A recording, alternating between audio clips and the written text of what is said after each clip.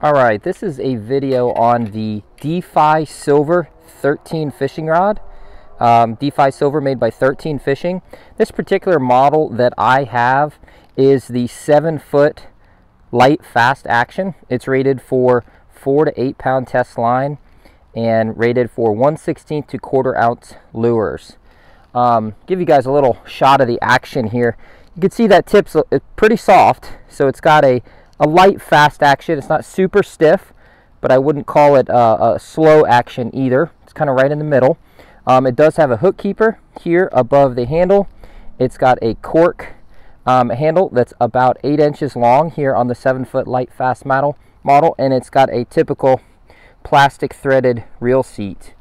Uh, the guides are double footed here and they're all fiberglass wrapped here around the eyes and overall, this is a really good rod. I use it a lot for that sort of finesse fishing. It's great for throwing Ned rigs, drop shot rigs, um, and could easily work for most freshwater applications and a lot of saltwater applications. Here's a little bit of the power here in the rod. So you can see it's got, you know, it's got good bend through the top third of the rod. Most of the power coming here from the back. Um, again, this is the Defy Silver Rod by, by 13 Fishing.